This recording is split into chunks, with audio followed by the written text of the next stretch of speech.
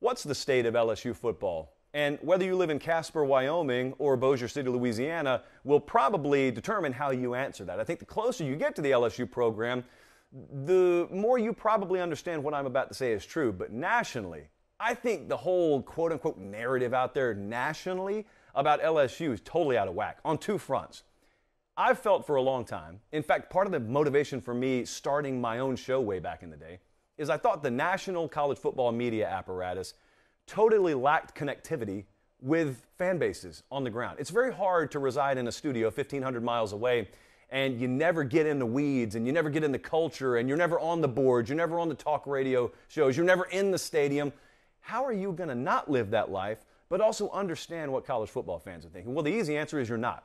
And so there was this void. And so we've tried to do our part to fill it. Uh, but I think right now it's a perfect case study because there's a lot of national conversation going on in the whole media sphere about LSU. Things aren't great at LSU right now. The on field product's bad. They've already lost a couple of games. They're a dog of three and a half points at Kentucky Saturday. And so, yeah, there's a lot of piling on. Some people accuse me of doing that the other night. That's the last thing I did, which I'll address momentarily. But I think people are really missing the boat here about the state of LSU football. Because I don't think it's terrible at all. I just think they're in a bad spot right now. But there are a lot of folks who think LSU football is spiraling into the abyss. I am on the total opposite side of that fence. I think the program's ready to explode, just not this year. But there are so many pieces in place for this program to take off like a rocket ship. I don't think people quite realize how ready, set, made that situation is. It's just probably going to be for a new administration. So um, the other night, I mentioned the first kind of out of whack perception I think exists nationally about LSU, and that is that a lot of folks look and they say LSU fans are out of whack with their expectation level and their perspective because you're less than two full years removed from a national championship, and already you want to fire a head coach, and already you want to hit the dump button. Well, first off, they don't want to hit the dump button entirely. They do, I think, to a large degree, want to hit the dump button on the head coach there. But even having said that, the same devil's advocate voice would come back and say, but okay, that's the guy who led you to a national championship. I've had people reach out to me, not a ton of them, but enough for me to acknowledge. I've had people reach out to me over the past, let's say, 48, 72 hours, and they've said something along these lines. Wow, bro, so you were all on board with LSU back in 2019. And now all of a sudden, when it's convenient, you want to turn on them. You want to turn on us. No, that's about the last thing in the world I want to do. If you've ever listened to this show, and if you haven't, I don't really care about the opinion, but if you've ever listened to this show, you understand I fully root for guys like Ed Orgeron or Sam Pittman or Shane Beamer. We call them culture fits. It's integral to the fabric of college football. My best case scenario is a guy like Ed Orgeron succeeding for the rest of his life and residing in Baton Rouge, Louisiana for the rest of his life. That ain't happening. That's not happening. And also, it's not just Saturday problems. I got a good coaching buddy of mine who labels these sorts of things Wednesday problems. If it's a Saturday problem, it means it's a pure football problem and it can be fixed with good coaching and better recruiting and development, yada, yada, yada. That is not the case here. If you're living nationally and you're looking at this program from 50,000 feet, you don't get that. LSU fans are on the ground. As I said the other night, they're in the house, not looking from the sidewalk. They get it. And they understand things are even further eroding during this season. They don't see they don't see the turnaround pad. They don't see any way to correct it. And I think for the record they're right about that. But this whole this whole allegation that if someone did something good a couple of years ago, you cannot change your opinion on them is ignorant. It doesn't exist in any other walk of life. If you had a kid and the kid brought home all A's on the report card, what would you do? Well, you'd celebrate it. That's a, that's a momentous occasion. Your boy didn't really get to experience that very often growing up. But then what happens if he goes and steals a car?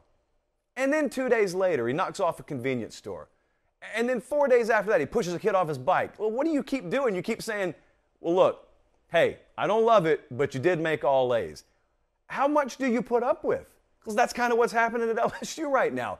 It's not a volunteer job. Ed Orgeron makes a lot of money. This sport doesn't sit still. It's a continuum. It just keeps going and going and going. When Nick Saban wins a title at Alabama, how long does he live off of? It? About five minutes. And then he moves on. You got to move on. 2019 was great. But no matter how great it was, they give out a total of one trophy for that year. Now, it was a historic trophy, but they give out one trophy for it. What do you do? Get to take the next five years off? Let me ask this question What are the critical factors for a winning program? What are the critical factors? Because I would ask any detractor out there to maybe this attitude, anyone who thinks Ed Orgeron is no longer fit for this job, what are the critical factors? And, and you, can, you can look up and down, like, what are the key indicators that things are turning around? And then tell me where any one of them is lit green right now. Because I don't think a single one of them is. There, there's nothing short of emotion that you could base that argument on. There is no logical pro Orgeron argument for LSU football right now. So anyone yelling at you about being negative about the guy just has hurt feelings. I mean, they don't have any logic. There's no, there's no tangible evidence to base that off of. And then here's where it gets a little more real. And here's what has LSU folks aggravated. And this is what I think people are totally missing nationally. What are the critical standards that Ed Orgeron demands his players to meet? And then once you define them, write them down on a piece of paper for me, and then tell me is he meeting those standards? Is the leader of the program meeting the standards that he demands his players meet? The answer is no, he's not. People in the program know that. People around the program know that. That is not a Saturday problem. That's a Wednesday problem. That's not a fix your technique and we'll win the game 20 to 17 problem. That's like a, a critical factor problem that's not going to correct itself. The second part, this is where the detachment is, is people nationally, a lot of the national media types think the LSU program is in disarray. The LSU program's not in disarray. Let me tell you what a program in disarray looks like. A program that's in disarray, you open your laptop every other morning and you see another guy got arrested. Or you open your laptop every other morning and two more guys have hopped in the transfer portal. Or you open your laptop every other morning and the few remaining respected, admired administrative types are on the first thing smoking out of town. None of that's happening at LSU. The kids aren't the ones getting in trouble. Staff members aren't fleeing left and right. Kids aren't jumping in the transfer portal. It's not a program in disarray. It's a head coach in disarray. That's it. And that's all. And that's what's going to make the decision, whenever Scott Woodward and company decide to make it, so easy. Because it's not a top to bottom torch the barn, kill the rats, total rebuild, block off the next four years and don't give us any expectation. Whoever ends up getting this job is going to step into a rocket ship. That whole premise is what has people so enraged down there. One of the main things that on the surface is a, a, good axiom that comes out of Ed Orgeron's mouth is block out the noise, block out the noise, block out the noise, block out the noise. Dude, he's the noise. The players aren't the noise. The players have stayed in line. The players have done what they're supposed to do. The staff's done what they're supposed to do. The administration's done what they're supposed to do. They got a lot of good people down there. They got a lot of good kids down there they're doing what they're supposed to do by and large. You have not heard more than a hiccup or two. Aside from the Dare Rosenthal deal, what else have you heard out of LSU? Yeah, you've seen losses on the field, but that's a team. The program's not in disarray.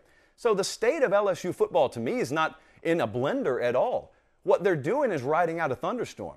But see, if you pull up, you know, the old eye, Josh, you pull up the extended forecast, it rained in Nashville two days ago. It was really ugly outside. I'll tell you what helped me. What helped me is when I pulled up the eight day forecast and I saw those little sunshine icons. It can look really bad outside in the moment, but the storms pass. LSU is just in the middle of a storm, but this thing's going to pass. And when it passes, you've got a top to bottom organization that otherwise is built for immediate success. That's why they got to nail this hire. If they nail this hire, this is a program ready to explode. I know it doesn't look like it right now because it's not going to happen in 2021, that's a program ready to explode. Everything is in place. The administration is built the right way.